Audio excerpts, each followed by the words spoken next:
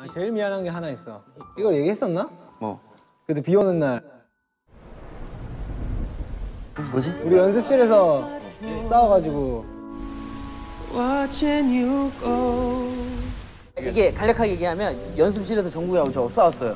연습실에서 싸우고 제가 열이 받아서 얘 보고 이제 너 신경 안 쓸 테니까 미안해 하고 딱 나갔는데 제가 걸어갔어요.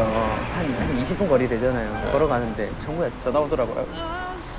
형님 잘못했어. 야 전화하지 말라 했잖아. 형이 전화하지 말라 했. 그한 4, 5년 전 아닌가? 너 어디야 이랬대. 모르겠어요.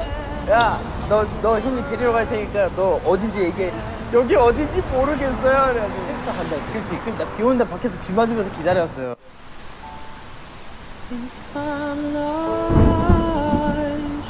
Without you.